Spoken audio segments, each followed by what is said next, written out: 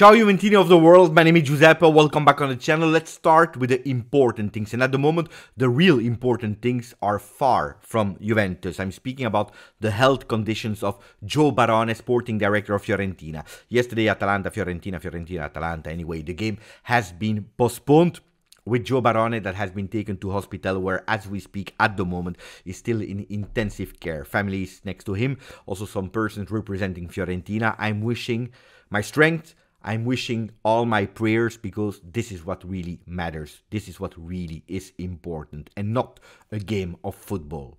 But we are a football channel, we are a Juventus channel, so we have to speak about the loss 0-0 of yesterday between Juventus and Genoa. More importantly, we have to speak about the moment. We have to speak about the coach, Massimiliano Allegri, because this is the topic that we have to go through. We can't avoid it. We can't hide. So we have to speak about Max Allegri. Maximum of like if you didn't yet, please continue to subscribe to the channel if you want to support the channel. By the way, just between all of it, I wanted to say thank you to all the people that supported me also on my second channel, Football, that since today completed the first step to be monetized and that's already a great one. No ads yet so it's not fully monetized but it's already the first step and i really wanted to say thank you to all of you that are also helping me and supporting me on the other channel. If you didn't yet yesterday we uploaded a really nice video with some games about barcelona atletico madrid. If you want to have fun and think about something else you can go there. That being said let's go back. Look this morning i woke up and sincerely the first thing i had in mind um, because i read eh? i read i listen to you when you're speaking into the chat. I take all your, your, your messages, your reactions, your frustration into consideration. The first thing that I had in mind when I woke up was I envy those that are really thinking that sacking Massimiliano Allegri, the coach of Juventus, will solve all the problems of Juventus. But no, seriously, I really envy you. It would be so easy. It would be so fast. It would be so fantastic. You sack a coach, you replace him, and then you go, and everything is done. Everything is solved. You know that I have never liked the Allegri in, Allegri out battles. I like the motivations of people that want him out. I like the motivations of the people that want him in, but these battles I don't like them. Why? Because I believe, but seriously, that they are not objective anymore.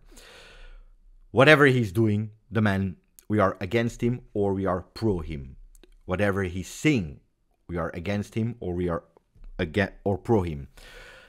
And it's incomplete. I never believed in finger pointing one person only, which you have all the bad of the world. You are accountable for every single problem. I don't believe in that. But that being said, we have to wake up and check the reality. It's the third season in a row where at this point, more or less of the season, sometimes a bit earlier, sometimes a bit later anyway, it's the third consecutive season where we are asking ourselves the same questions about the coach. It's not about discussing the person. I have immense respect for Massimiliano Allegri. It's not about discussing the coach. I have immense respect for the career of Massimiliano Allegri, for the intelligence of the man. That's not the point. That's not the point. It's just arriving at a certain moment where, in, out, you're asking yourself, Max, coach Juventus, the right one, not the right one. Is he able to solve? Is he not able to solve? And this at a certain moment, especially in the moment that we are in or that we were in, it's not healthy. Not for the person, not for the coach, but especially, which is even more important, not for the club. And you know it. According to me, the club is bigger than the players, the club is bigger than the coach, the club is bigger than any manager. The club is bigger than presidents. The club is Juventus. That's the most and the only thing that really sincerely matter. Because people they come and they go, Juventus will stay. You will have good and bad moments. Juventus will stay. Supporters will stay. Some will leave, some will come, but supporters, the core, will stay. When I'm telling you I envy those that are only think that Max Allegri is a problem, it's because in today's video I want to speak also about other people that have responsibilities. Today I want to focus, especially when we'll go towards Juve, Genoa, about some players that are also accountable, especially because they don't realize the moment that we are in, they're throwing everything away. It's not about, I love the shirt, I love the badge, I'm doing it for the supporters. No, for themselves, for their own pride. Yesterday, I was expecting, I was expecting, I was hoping. Expecting means, in a way, you think that it can happen. I was hoping, hoping in a Juventus players, players that was saying we qualify to that FIFA Club World Cup 2025. I will give every single drop of sweat I have on the field to go out of that negative moment to win against Genoa in our home because I'm fighting also for myself. First for the club because the club qualifying to Champions League is vital, crucial. This with that bonus of the FIFA World Cup for a club, we can do better. But then also fighting for myself. I worked so much, so hard against every odd from August until end of January I don't want to throw it away. And I want to fight for my spot, to securing my spot for next season. I want to show that I deserve to be there to also participate to that new competition that is FIFA World Cup. So I want to speak about that. Now, it's totally normal that in that situation, speaking again about the coach with everything that we said, Tuttosport is writing about Allegri. Gazzetta dello Sport is writing about Allegri. Corriere dello Sport is writing about Allegri. You know, with Tuttosport is always going with double sense titles. And they are correct. Tuttosport is writing max. Fino a quando? Max. Until when? Speaking about the moment that Juventus is in at the moment, that can't go out of it. The negative result, one win at the 95 minute against Frosinone out of 8 games. Until when? The Champions League qualification is at risk. Second sense of that same questions, until when? on the bench of Juve until this afternoon, until the end of the season, until the end of next season where your contract will go away, until even more if your contract is extended. These are the questions, that double sense question, max fino a quando. Then you say that Gazzetta dello Sport is going a bit more harsh, a bit more towards one option only. Max Scotta, scotta, scottare. You see the flames there. It's when it's uh, not burning, but you know, heating. It's heating. The situation Max Allegri is heating. If you're looking at purely the stats, purely the number, these are numbers of sacking someone. It didn't happen one win in eight games since 14 years before 2011.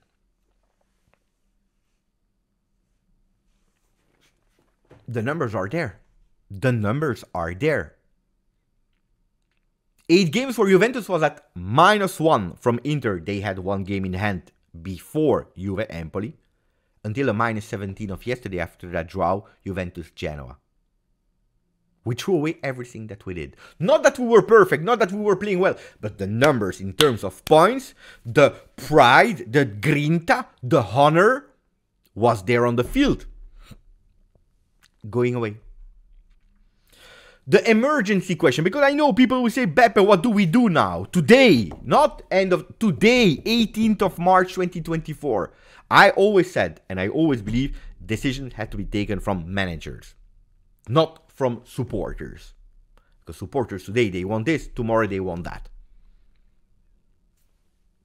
Not from the players, because the player today is playing, is happy. Tomorrow is not playing, is not happy. If you give too much power to a supporter, to a player, today it's Allegri, tomorrow it's Thiago Motta that is going, then it's Pirlo, then it's Ten Hag, then it's this. Managers need to take accountability. Then they are also accountable for the choice that they are taking. They take the responsibility for their action, but they need to to choose. They need to take decisions. The first emergency, I'm speaking about emergency question that managers has to ask themselves now is Will we qualify to Champions League? The following question that they need to ask themselves is how come we didn't wake up of the nightmare situation that we are in since eight games? We know why we are in it. We already already spoke about it. We already explained from A to Z, from 1 to 100. We explained every single we know why. But that's not the question today. The question is how come we are not, still not out of it? That's the important thing. Again, ah, I'm not discussing the person. I have immense respect for Allegri. I don't respect. I don't discuss the coach. Immense respect for the career. But I'm asking myself another question. At today, in this Juventus that we are in, it's not the Juventus of Agnelli, of Paratici, of Nedved. It's another Juventus. It's a Juventus with limited availabilities financially, with limited possibilities in terms of strength on transfer market. Is Max at the right spot at the right time? I never doubted that Max Allegri is a profile of Juventus. He already showed in the past, but in this Juventus, that in these three years we saw everything and nothing. Change of management, points, no points, a bad situation, less qualitative players, and so on and so on. That's the big question. Yesterday, disaster. Yesterday, disaster. After the game, this is one of the first pictures. I have a few pictures. Huh? The picture of post-game interview of Max Allegri. I have the picture of Dusan Vlahovic red card. I have the picture of the two posts. I have a picture of Vlahovic pass to Chiesa, missed pass to Chiesa. I have the picture of Chiesa's duels. I have a picture of Chiesa that is taking the ball out of the field because he didn't pay attention. He was not focused that the field was over. I have a picture of Kostic and Chiesa. I have a picture of exactly the same lineup, starting lineup that we played already against Genoa in the home game. We did 1 1 in their home, we did 0 0 in our home. I have a lot of pictures there. Let's start with the first picture Allegri against everyone. You feel it. You feel it that he's nervous. And I understand when you are that much under pressure, when you are not happy, when the team is not responding anymore, when you can't find the right buttons to wake up, which already he said, uh, I am accountable for it because I didn't find the right words, but he said it a few weeks ago. And until today, he still didn't find the right buttons to get out of situation. One time we improve the offensive qualities, which we saw against Napoli and Atalanta, but we concede in the back. One time we are much better in the back, but we are absolutely not dangerous. We are not absolutely not precise. Then on this other side, we are slow. We are mechanical. We don't have idea. We didn't find the way to let the players respond and make sure that they are also aware that continuing like this, we go towards the wall. We go towards the wall and yesterday you felt the frustration, the anger. Of course, when you are a coach, you can't say everything that is the reality. You need to still, whatever the moment is in, you need to be political. Defending the institution, the club, and not putting them into the spotlight. So you are fighting and you are receiving all these questions and you are extremely irritated and then you go totally crazy and you start answering things that are absolutely out of sense. Yesterday, the question, why don't you play with the three in the front, is quite easy to answer according to me. According to me. The answer is super easy if you receive why are we not playing with three in the front, which you already received so many times from journalists. It's easy. You can tell Federico Chiesa is not in his moment now. As easy as that. Or Federico Chiesa was not yet at 100% because of his physical problems, and we don't have a Vlahovic, or we don't have a Milik, or we don't have this. Kean has only 20 minutes. He was the only change we had. You have so many football ways to explain why we don't play with three. You can say if we play with three and you don't have the efforts of a Yildiz, of a Chiesa, then we have problems and we will even concede even more goals than we conceded recently. You have so many ways to explain. It can be right, it can be wrong. But yesterday, because of anger, because of frustration, he started to say things that are not correct. He started to go towards I'm not a politician, I don't have to make people happy, journalists or supporters. No, I can understand that, that you can't take decision to make people happy. I totally understand, but you need to explain why. Then people will still agree or not agree with you. but you need to explain in an easy way. And then you go crazy and you answer like that because of frustration, because of anger.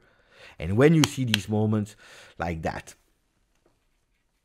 when you see these kind of answers that makes totally no sense and then it means that at the moment you're absolutely not serene and to get out of a situation like that you need to be clear in your mind otherwise it's tough the international break will be i believe beneficial in a way if we are all able to make or we the players the coach technical staff whoever is staying in la continassa to make abstraction of the voices to breathe out again and to find lucidity. It's already 15 minutes. We need to speak about the players because it would be too easy to speak only about one man only. When I told you about losing control, yesterday Vlahovic lost control. Yesterday lost control. Look, there is a title of Tuttosport that is writing um, La coppia che tradisce the duo that is betraying. Because yesterday this is also how I felt. I was absolutely angry against the coach, against the team, but also against that duo. That on paper should be the leaders, not the leaders as captain, but the leaders on the field, the technical leaders. Federico Chiesa, Dusan Vlahovic, the one that we were all dreaming for, with two or with three or with whatever. Yesterday they betrayed us. One, about his way of playing, the other one's way of playing and reaction. Today, Tuttosport is putting a 3. Never you see less than 5 ratings in Italy because 5 is already bad. 6 is good. You don't have that many variations in the number. When they give you a 4, it's a disaster. When they give you a 3, that's a total disaster. And yesterday, Vlahovic, 3 performance.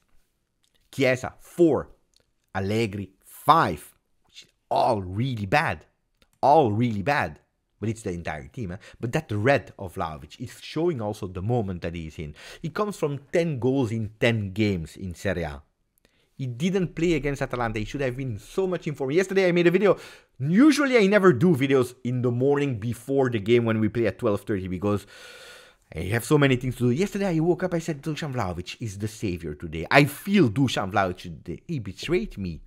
He betrayed me. That reaction, knowing that Milik is injured, knowing the difficult moment, he's pissed off against the referee because of the moment, because of the thing that he missed during the games. And he will not be there against Lazio neither. Without Milik, without him, we need every single one that is thinking about Juventus. And this reaction, we are not thinking about the team, we are thinking about ourselves. We are thinking about the nurse. We are thinking about this is not okay. Probably he was thinking about that missed pass to Chiesa. That is a picture that is totally a disaster at the 44th minute of that first half.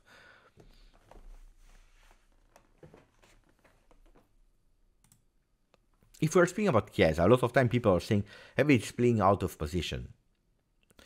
Every single game, every single game I'm watching during the game, after the game, at halftime, I'm watching at the position of Chiesa. And you can see, I don't know if I will edit it or not, you can see that Federico Chiesa is always playing as a left winger. Always playing in that position. So, two things.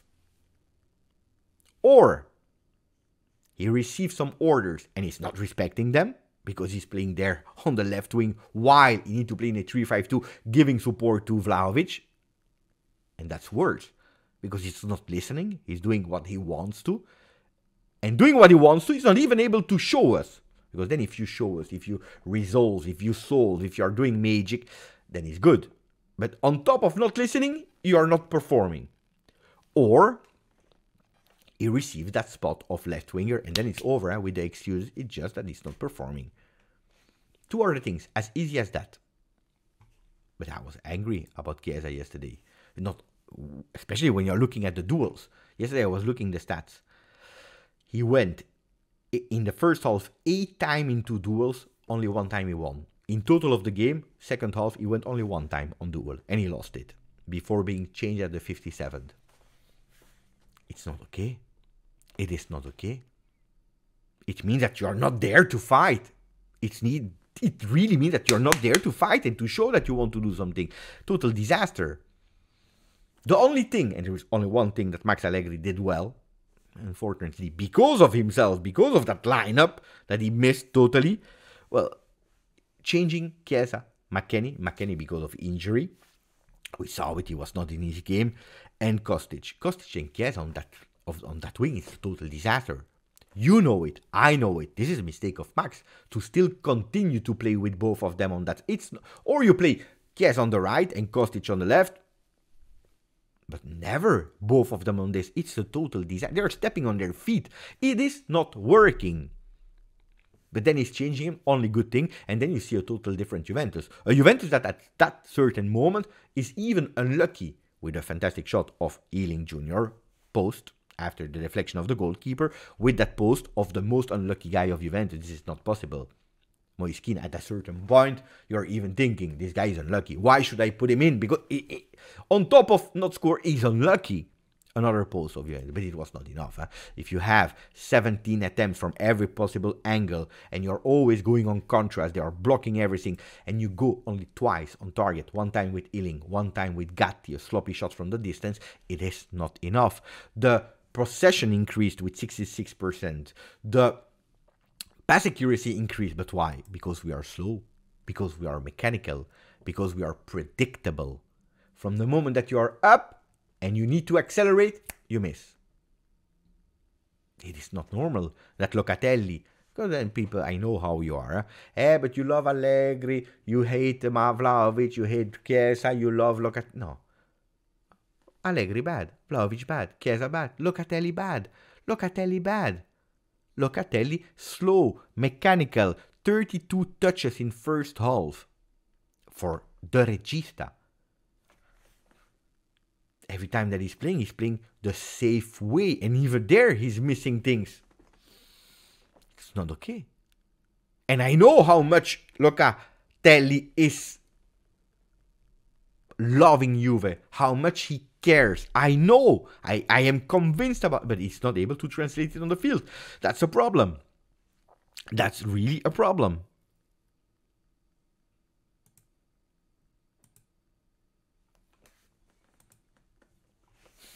A last topic and then we close. Um, Galeone, mentor of Galliani, spoke again in Gazzetta dello Sport. He said, It is the moment for Max to go to a foreign country Premier League is for him. Uh, I know that a lot of people will laugh. I know that a lot of people will uh, um, will think that it's not even possible. I'm watching a lot La Liga, Liga, Bundesliga, uh, Premier League, especially this season with the second channel. When I'm seeing how unorganized, how unstructured Premier League is in the way of uh, managing the non-possession of the game, I'm even I, I'm even convinced that he could do well. Unfortunately, it's a high, high, high intensity. I don't know. Then I don't believe that he will go to Premier League. I don't believe that a Premier League club will hire Max Allegri.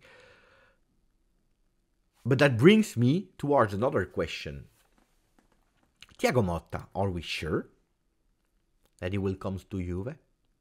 If Max is not there, are we sure that he wants to go to Juve if Bologna qualifies to Champions League.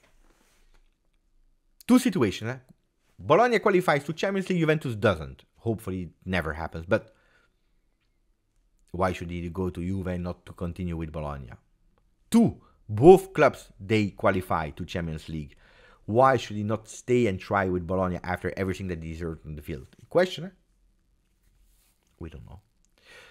Guys, if you want to maximum of like, don't forget to subscribe to the channel. And uh, we see each other probably uh, later or on the second channel with a review of what happened this weekend with Manchester United. Crazy game against United, uh, against Liverpool yesterday.